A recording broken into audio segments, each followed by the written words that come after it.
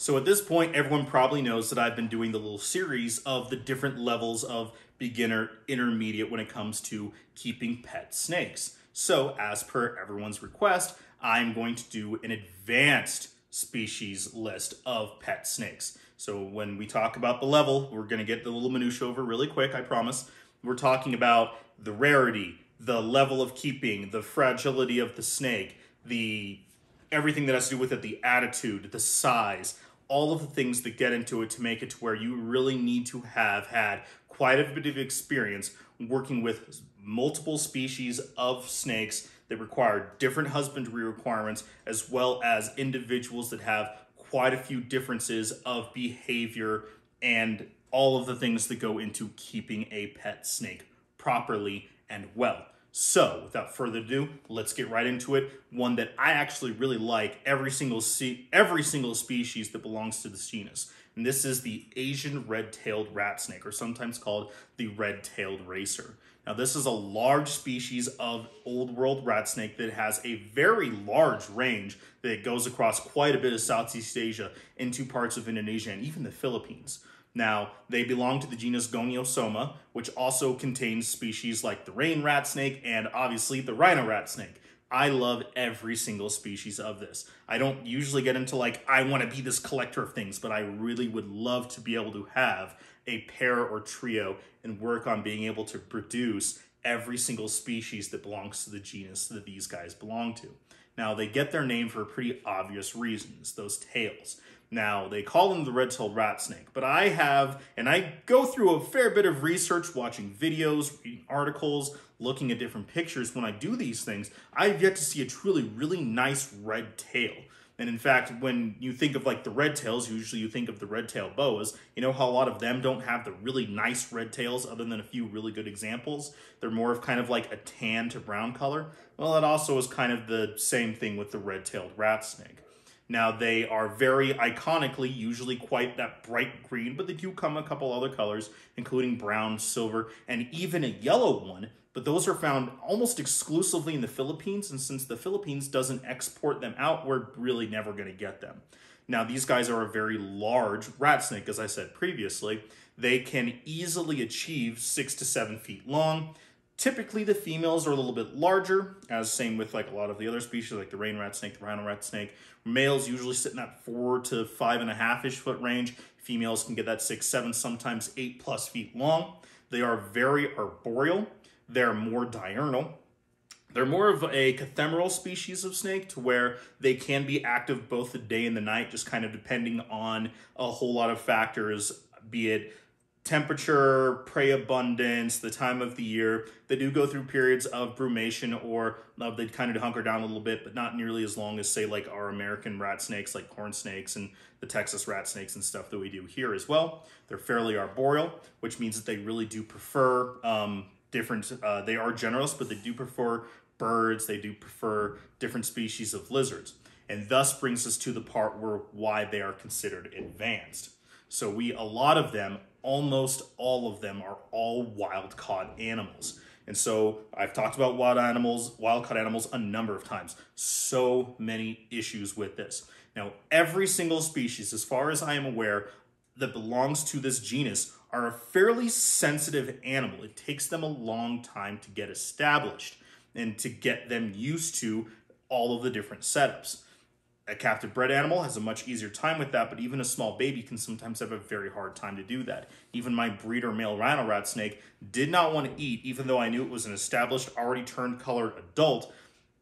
It took a very long time for him to get settled in, and the same goes with the red-tailed rat snake. So you take an animal that is very stressed from all of the wild-caught conditions, and then you try to get them that is already a very flighty, very reactive, very visual defensive snake to get them used to this. Now, there are a couple YouTubers out there that are fairly well known, like Snakes and Adders, and I believe M Exotic um, are well known for their work with the red-tailed rat snakes. Uh, if you want to go check them out, they probably go into a little bit more detail than I'm doing this very kind of quick cursory one of this top five list.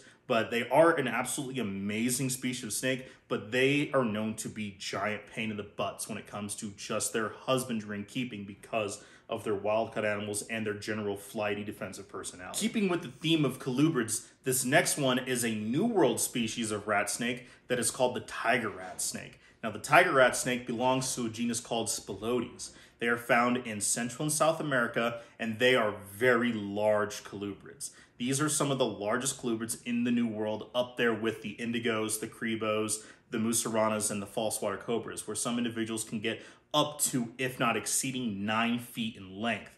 These guys are amazing. They're called tiger rat snakes for a pretty obvious reason. Although their pattern and color can vary to be where they can be almost entirely yellow to much more black with just a little bit of yellow on there.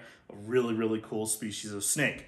Now, they are also, just like the Asian rat, the Asian red-tailed rat snakes, they are very arboreal. They're more diurnal, although cathemeral would probably be a much more appropriate thing to describe them as well, where they can be active day and night, just kind of depends on all sorts of the little factors, just as they are. They do like birds, they do like mammals, they do like lizards, they will eat all sorts of stuff. They do move up and down in the canopy, probably a little bit more than the Asian red-tailed rat snakes do. Um, and as I mentioned, they are almost exclusively wild caught. You see a lot of these guys on those big wholesaler tables at um, reptile expos for probably four or five hundred dollars. They are captive bred in small numbers, including in this country, and that's where you'll be paying eight, nine, a thousand, uh, eight, nine hundred, a thousand dollars or more for individuals. They are really cool. Most of the time, they're categorized either as Brazilian or as Central American. There are some different localities thrown throughout there. Typically, the South American ones are usually a little bit larger, keeping in theme with a lot of our more familiar species of snakes. But this is one that is definitely more of a display type animal, very similar to the red-tailed rat snake, where you need kind of a large vivarium or enclosure where you need lots of height because they like to climb, they like to hide, they will bask, they need that humidity, so you need to be able to have all sorts of these things in this very large enclosure to be able to house properly just to keep the animal healthy. And then again, you're dealing with this delicate wild caught animal full of parasites that is also very flighty and very defensive and is more quicker to react with its bite than it will be to run away than some other species that would be considered more intermediate level. So thus advanced. Here is a very good example of an advanced species of snake. Now, this is probably the most advanced of the big five constrictors, being the rocks, the Indians, the berms, the retics, and the anacondas. Now, here in the hobby, we essentially have access to two of the four species of anacondas, the yellows and the greens. Now, all anacondas come from South America, typically in central and northern parts of South America, east of the Andes, mostly in the Amazon basin, in countries like Bolivia, Peru, Brazil, and a couple others. Now, the yellow anacondas are the more common and more popular of them for a couple of reasons. Number one, their size, and number two, they weren't typically as heavily regulated, both for exportation and for the ability to have them as the greens are. Now, the yellows, I did say are smaller, but that doesn't necessarily mean that they are a small snake. They're sexually dimorphic, just like the greens are. What are you doing, buddy? So this is Sir Mix-a-Lot, by the way, because I think I'm hilarious. A even a small male, because male anacondas are much smaller than the female counterparts, even a small yellow male anaconda can still be over seven, eight feet long, with females getting well over 12 feet. With the greens, males can typically get seven to nine feet. Sir Mix-a-Lot is probably sitting around six and a half, close to seven feet. He's been a bit of a pain in the butt when it comes to feeding, and I'll get into that in just a minute with the females obviously being those large, heavy-bodied uh, boas, being the largest boa in the world. Now, all boas are semi-aquatic, which means that when we come to keeping them and housing them, we have to keep that in mind. That is very large water sources that they absolutely not only will stay in, will feed in, but defecate in. So that means lots of water changes, keeping that water clean. If it's very large and you live in a colder area, that means you need to keep the water heated and filtered as well. And then lots of room for them to be able to bask because while they will spend a large majority of their time in the water, they absolutely do love to bask and spend time out of the water and thermoregulate that way. Now, in the wild, because that's where a lot of these guys will come from, they love to eat birds. They will eat kind of whatever, but they do love birds, and that's actually a big problem for Sir Mix-a-Lot here. He came to me only eating chicks. And it wasn't until basically this year that he started to eat rats. And so this is an animal that for the last seven years has only eaten quail and chicks and ducks until just recently started to eat frozen thawed rats. So that is a huge issue when it comes to people being able to get, especially right now, to being able to get ready access to healthy parasite-free birds.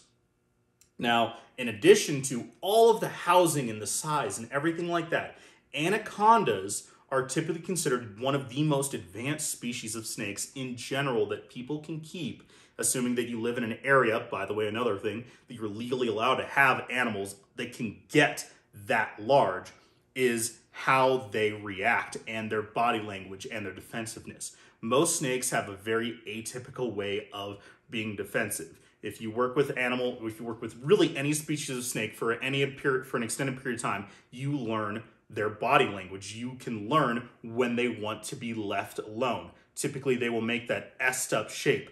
They will, in the case of, you know, elapids, they will hood up. They will puff up. Like the Asian rat-tailed, they'll kind of puff out their neck. Um, a lot of the hog noses, they will flatten out their neck too.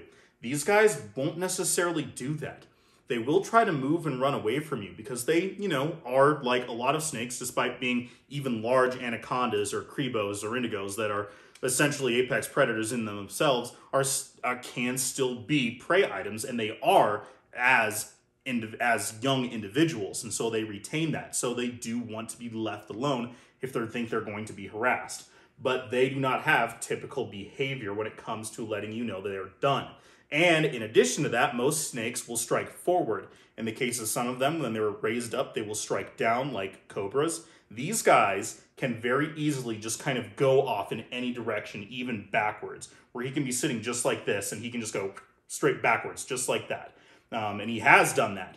I've never taken a bite from Sir Mix-a-Lot before, and I've worked with him for quite a few years now, but he does have a couple tells, and supposedly quite a few anacondas do have this. If you look very closely, at the muscles in their neck, you can see them kind of clench and stress their, their muscles, and they will typically go in the direction that they do that. However, I don't know too many people that are actually capable of noticing that and reacting quick enough to be able to catch him doing that.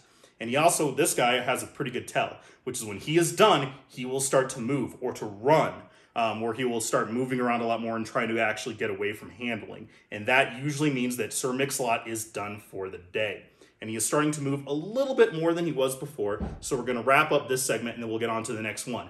But anacondas, even a male anaconda here, very large animal, as you can tell, very powerful, somewhat of an unpredictable nature and defensiveness. And so that makes them ah, an advanced species. Okay, next one. Sorry, Sir Mix-a-Lot wears me out.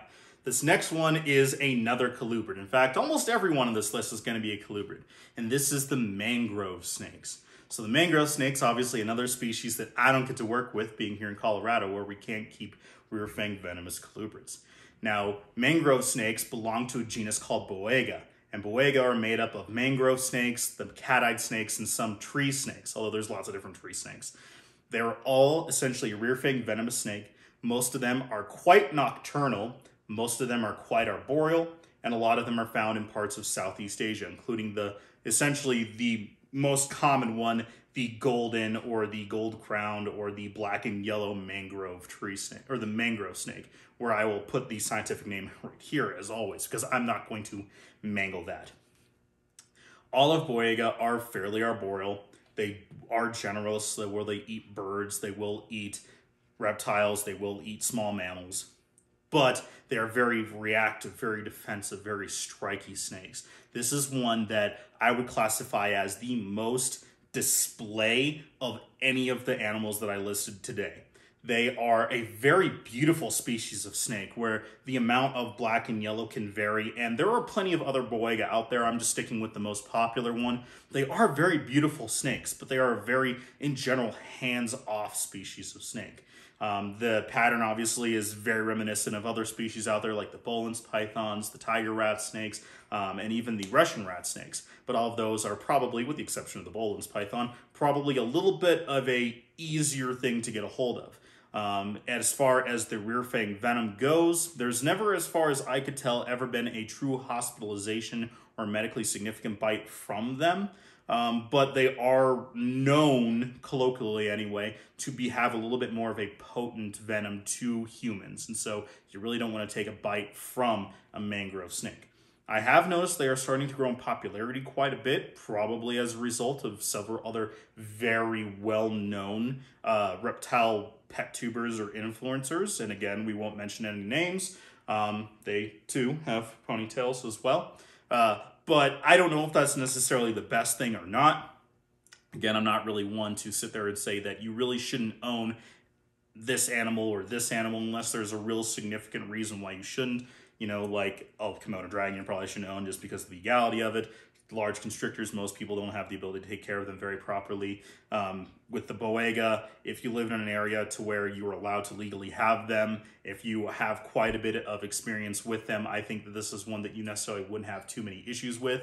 Um, they are mostly wild caught animal, just like really every animal on this list today. They are again starting to be more popular. They are starting to be bred more in captivity, so your odds of getting a much more settled and established baby that's feeding really well, probably on mammals, are much more likely than even like the tiger rat snake um, and things like that. However, again, fairly hands off when it comes to the um, habitat that you need to keep them in. They're from Southeast Asia, different islands like the Philippines and Guam and areas like that. Um, actually, not Guam. We don't. We don't. We don't. We don't want to talk about the Boiga on, on Guam. Um, so we're talking high humidity, decent basking spot, not real high because they are more nocturnal, but you still want to give them the thermal gradient, plenty of height to move around in and out and up and down in that vivarium. Really cool species of snake. Not as I'm not quite as knowledgeable about these guys, but they are still an amazing species of snake if you're able to keep them, if given enough research and experience with them. Last on the list, another species of colubrid, and actually this is another member of the Spilotes genus. This is the Amazon puffing snake or the Amazon yellow puffing snake sometimes called the chicken snake, although also the tiger rat snake is sometimes called the chicken snake too. And also sometimes bull snakes are called chicken snakes. I don't know. People are weird. That's why I don't really like the common names thing. But the Amazon puffing snake is another member of Spilotes. Obviously a very large colubrid, just like the tiger rat snake. They can sometimes reach upwards of nine feet long. So again, some of the largest colubrids in the New World. They're called Amazon puffing snakes because they come from parts of northern South America. They are fairly arboreal, just like the tiger rat snakes, and they get their name puffing for a pretty obvious reason. This is their defense display. Defense display. Ah. So they will S up like a lot of species of snake will. They will hiss sometimes, just like a lot of species of snakes will. But unlike the tiger rat snake or vine snakes, they don't flatten out. They will puff up. And you know, the red tail rat snake does kind of puff a little bit. It does S up. Some other snakes will kind of puff up a little bit. But this looks like someone filled a balloon up like right below their jaw and just went mm, mm, mm, and blew them up. They are really, really interesting and really cool species of snakes. Now, the interesting thing about these guys is that they are in fact rear-fanged venomous. Other species in the genus Spilotes, like the tiger rat snake, aren't as far as we are aware, and we've been keeping them for quite a long time, so we would probably know by this point, but the Amazon puffing snakes are. And interestingly enough, they have some very unusual venom. So, just like other rear fang venomous snakes, they don't have the typical front facing uh, fangs, either fixed or adjustable, like vipers and elapids. They're at the back, it grooves down, it's a little bit more of a primitive delivery method. But these guys, their bite is interesting, where there are actually separate toxins that are essentially prey specific, where one toxin in their venom greatly affects birds and lizards, and it doesn't really affect mammals, even at higher doses that would be very lethal to birds and lizards are essentially unaffected by mammals. And then they have a toxin that is much more effective on mammals, specifically rodents, than they do in birds and reptiles. It's essentially the inverse of that first one. So it's a very interesting species of snake, and it's a very interesting thing about them. Now, keeping them is very similar to that of the tiger rat snake, where you want to give them plenty of space. They do like to climb because they're fairly arboreal. They can be picky eaters, just like the tiger rat snake. Although, based on what I have seen and talked to a couple different people, they seem to actually be able to adapt to handling a little bit easier and a little bit more readily than the tiger rat snake does. They don't usually have as striking colorations of them, but they have a couple of those really weird adaptations that make them a very unusual and a very unique species to keep being a large snake, being a flighty snake, being a reactive snake, and being a rear fang venomous snake, it's definitely one that is much more at an advanced level of keeping that you do want plenty of experience and knowledge and research before getting into. So hopefully you guys enjoyed today's video. There are plenty of other snakes out there for uh, many reasons. There's uh, only really reason why I only mentioned one of the giant ones because we've talked at length about why keeping giant snakes is a much more advanced thing than people would ever lead you to believe. Um, although a lot more people are very more upfront about that than they were even a couple years ago. I didn't mention actual ven actual. I didn't mention vipers or elapids really at all because again they're in this whole other thing that we've talked about, and I didn't really mention crocodilians because this is a snake specific one. But in general, I hope you guys enjoyed today's video. Advanced keeping, there's absolutely nothing wrong with that, and I highly recommend anybody that is absolutely, truly dedicated and interested and loves and is passionate about these animals. There's absolutely nothing wrong with keeping any of these more advanced species, as long as you're doing the best for them, doing all of your research and doing the best to learn about these guys, which absolutely means more than watching just this video alone. Hopefully, again, you guys enjoyed today's video. If you can, like and subscribe, hit the bell notification. I have a whole playlist of the top five videos. If you guys want to be able to help me support me a little bit more, I do have a Patreon. There's all sorts of different varying levels in there from a dollar onward up with different uh, rewards like uh, wristbands, private tours virtually, uh, discounts on merch, early access, your name mentioned in the credits because I absolutely do support, uh, love, and appreciate your support again. And I will uh, mention this again. I haven't mentioned it for the last few videos. If you guys do love this kind of content, please like, subscribe, and then share with your friends. I'm doing my best. I want to, I would love to be able to do this entirely full time and be able to support this, but these guys are very expensive. So, in an effort to get more subscribers on YouTube to kind of help with that whole monetization thing, at 5,000 subscribers, I'm going to do a full property tour, which means this full building that I haven't really shown off very much than the other room that I have where I keep my cooler weather uh, old world rat snakes and geckos, as well as the rest of the property, like the pond and all of the livestock that I have as well. And I will do the full property tour. And then for 10,000 subscribers, we'll do an animal giveaway where we'll have a little lottery. Everyone can enter in. You'll get that and actually send off an animal from Jz's Reptiles. So if you can, Thank you so much. Like, subscribe, share, all those little fun things that we can do. If you have any questions, comments, concerns, want to see anything else for any other videos, let me down, uh, down below. Email me, other social media, yada, yada, yada. Hope everyone's having a great day. I'll check you next time.